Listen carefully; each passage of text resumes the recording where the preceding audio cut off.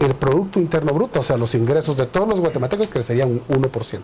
Cada por ciento en infraestructura, 1% en el, en el Producto Interno Bruto. Y luego, cada por ciento en infraestructura reduciría 3% a la pobreza extrema del país.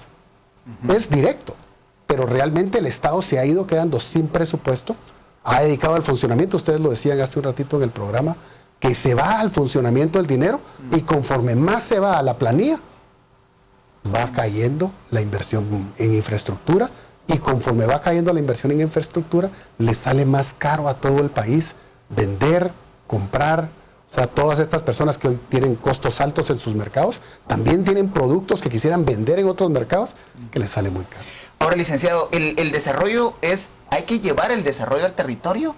¿O es congruente este planteamiento con hacer de, los, de algunos territorios en el país grandes ciudades intermedias que puedan absorber el desarrollo y la, y, la prosperidad de, de, la población guatemalteca.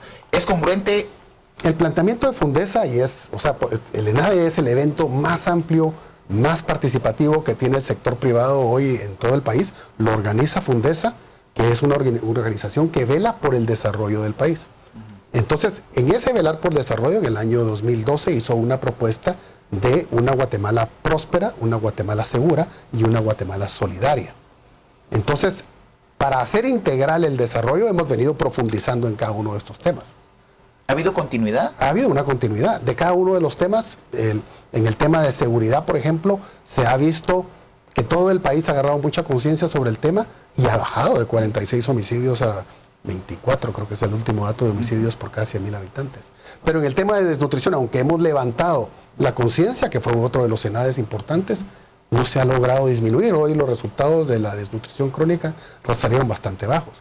Y hoy este tema de infraestructura sí creemos que es el dolor número uno que tiene toda la población. La gente está pasando demasiado tiempo en el tráfico, está, está sofocada, la velocidad promedio del país está muy baja, 16, 17 kilómetros por hora, y los costos de llegar a los mercados se multiplican cuando eso es así. Entonces, sube la inflación, baja la capacidad de generar empleo, la competitividad va bajando. Digamos, el costo de todos los bienes que tiene el país se calculaba en el 2012 en un 23% de lo que valen las cosas. O sea que de un quetzal que valen las cosas, 23 centavos se iban para lo que costaba llevar esa cosa a un lugar. Ese número subió al 29% hoy. Y ese número en Estados Unidos y en China es 8 y 8,5%. O sea que en Guatemala es 21, 22% más caro llevar un producto de un lugar a otro que lo que es en un país desarrollado. Y esa, ese 22% es una diferencia muy clara para poder competir de los productos guatemaltecos en el exterior. ¿Y la visión del sector empresarial respecto de puertos, aeropuertos y infraestructura que es eh, complementaria a la carpeta vial?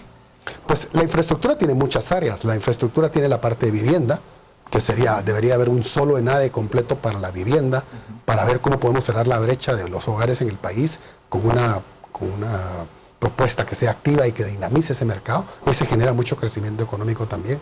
Está la infraestructura de las ciudades, la infraestructura del agua, la infraestructura de la energía, la infraestructura de las aceras, los parques, está la infraestructura de producción, digamos, el riego para las partes agrícolas. Hay varias áreas en el tema de infraestructura, pero creemos que este tema de la infraestructura vial, por cada día que nosotros no invertimos en ese mantenimiento, o sea, teniendo el dinero, porque esto es ejecución que está asignada, o sea, no es que nos falte el dinero, está asignada, está en el en Covial, pero no está la capacidad por problemas con la ley de compras, problemas con la Contraloría de Cuentas, problemas con la falta de capacidad de ejecutar eh, y por este problema de transparencia también que nos está dando en el país. La infraestructura pues impacta las vidas de las y los guatemaltecos. Quédese con nosotros que al volver seguiremos discutiendo en torno al planteamiento que el próximo ENADE tendrá para este año 2017.